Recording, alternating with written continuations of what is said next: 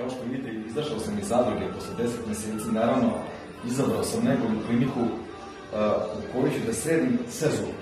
Ali hvala Bogu imam zdrave zube, malo sam pod kremom, ali što se tiče i ordinacije i doktorki, tako da sad ono polako se opuštam, a vama predlažem isto tamo gde sam ja, pratite me, tako da danas ću da skidam kamenac, ono što posle budem radio imaćete priliku da ispratite i na YouTube-u i na Instagramu, tako da uživajte, gledajte i izaberite najbolje. Da, to je to, diplomica, znači da sam bio i piše e, hrabrost. Tako da, što se mene tiče, ja sam najhrabriji, a bit ćete i vi hrabri zato što ćete otići u stomatološku ordinaciju koja je toliko dobra da samo hrabri možete biti. Ne postoji neki slabići. Čak i za decu su napravili top priče.